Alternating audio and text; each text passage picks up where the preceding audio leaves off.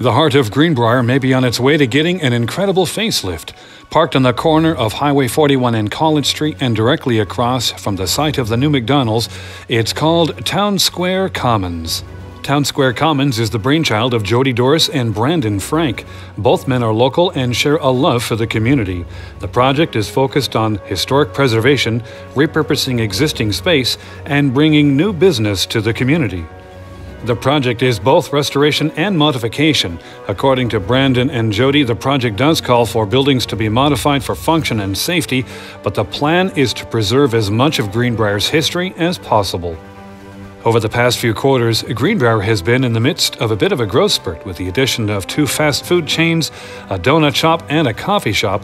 This project seems like a logical fit considering it sits right in the middle of downtown. SmokeyBarn News will follow the project as it makes its way through the city and county process. Be sure to tell us what you think of this project in comments below.